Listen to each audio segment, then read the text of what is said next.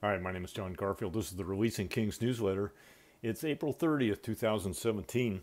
This week I want to talk to you about partnering with the King of Kings.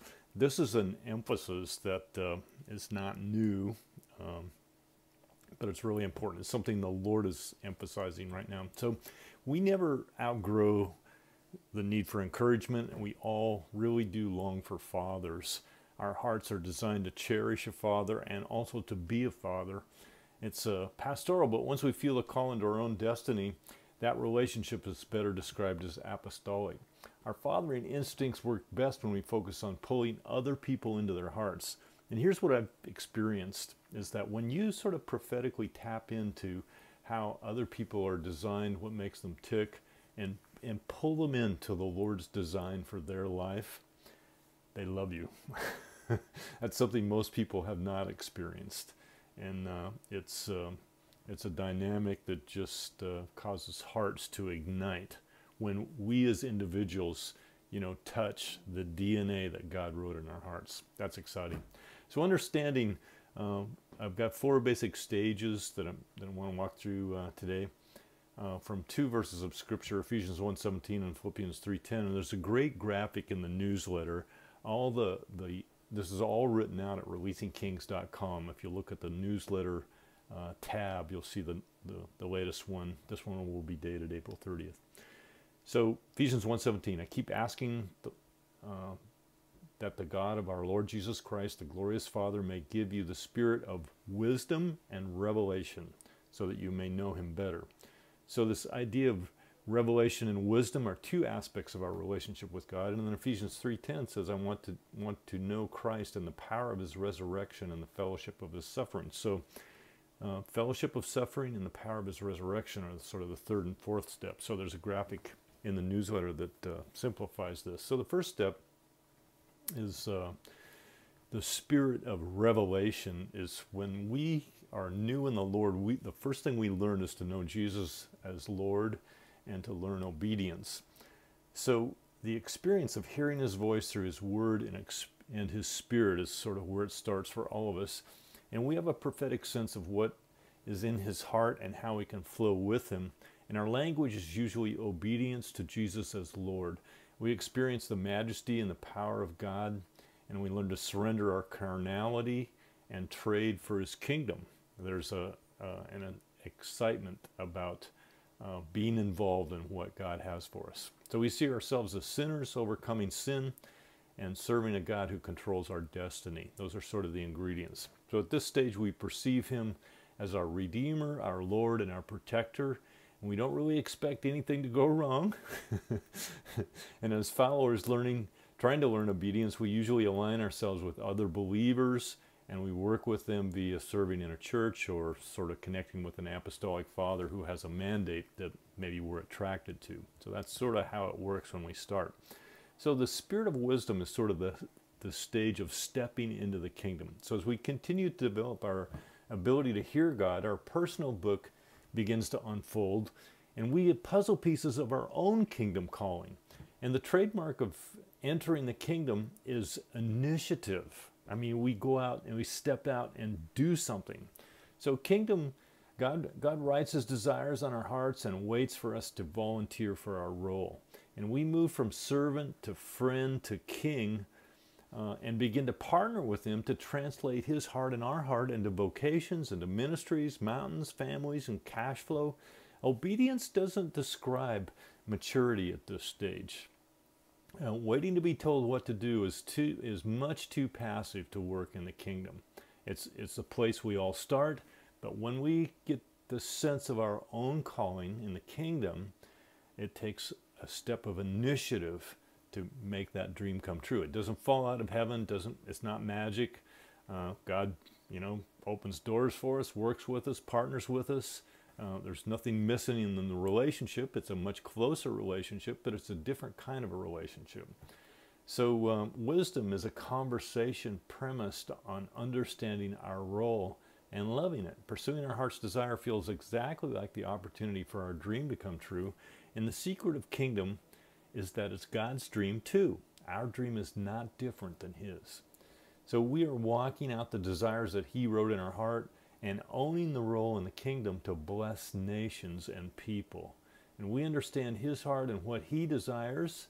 He's, he's interested in us taking the talents he's given us and multiplying them.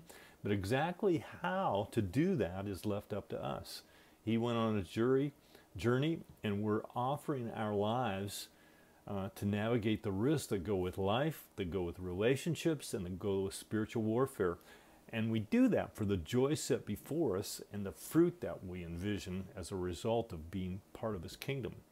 So, um, Matthew 5 20, um, 25, verse 14 again, it will be like a man going on a jury who call, journey who called his servants and entrusted his property to them. To one he gave five talents of money, to another two talents, and to another one talent, each according to his ability.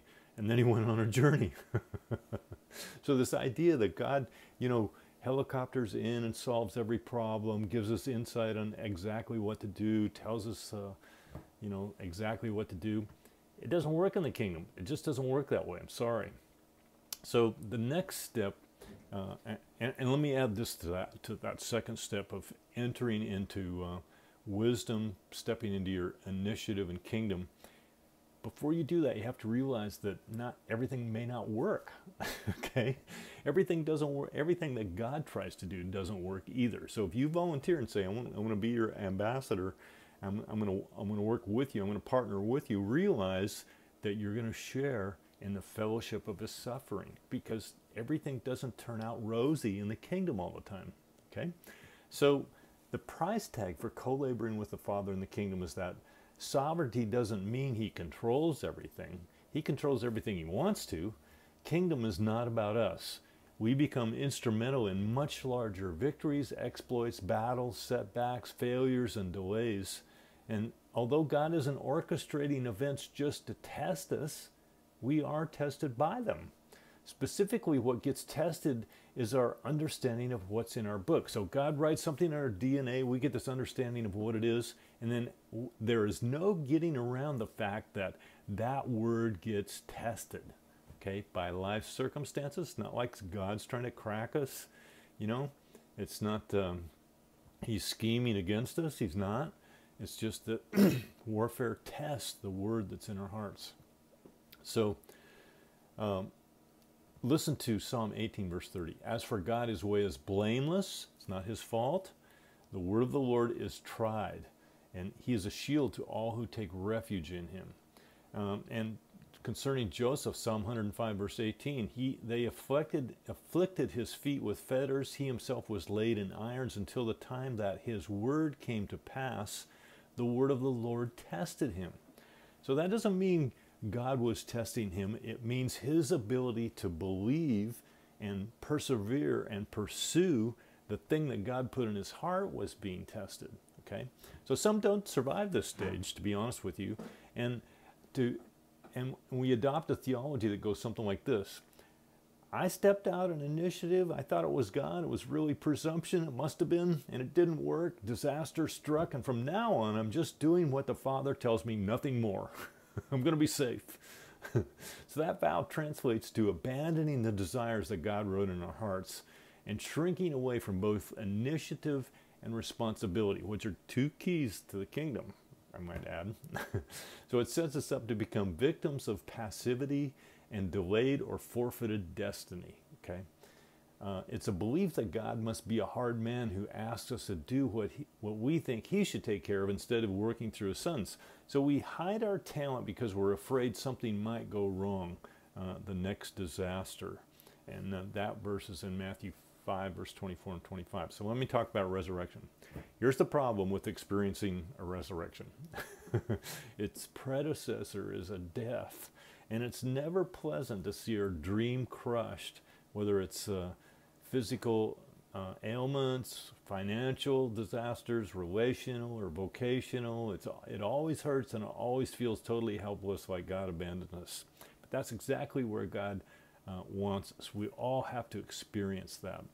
Um, the dream we, uh, we cannot accomplish in our own strength and wisdom, He eventually resurrects from the ashes. And it's our ability to persevere uh, knowing that He's going to do that, knowing that what He put in our hearts is really true, and we can be f- faithful toward that and continue to pursue it, even in difficult seasons. That's the, the genius of knowing the power of His resurrection.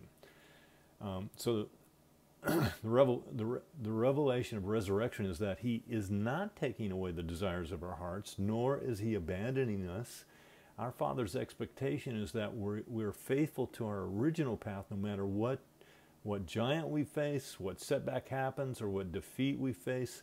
As believers, we are not insulated from disasters. When the ship sinks, believers float.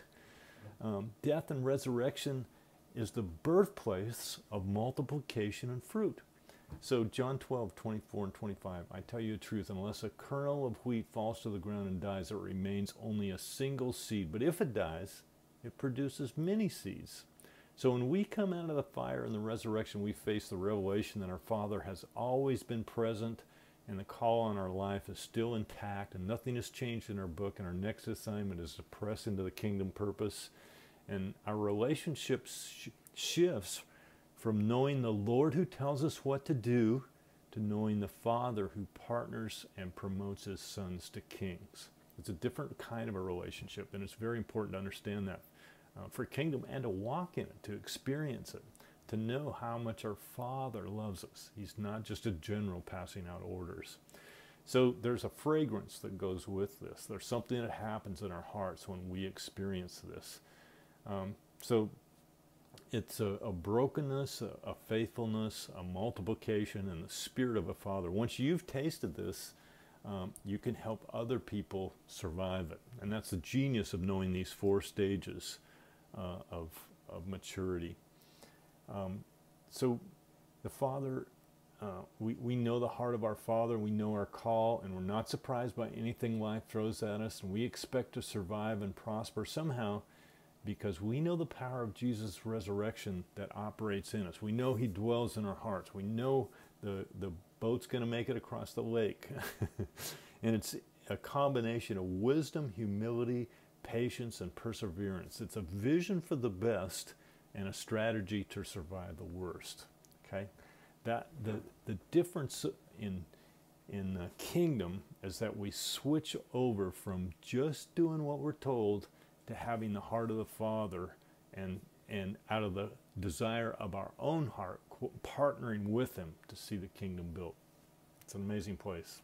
I'm inviting you into it. God bless. Have a great week.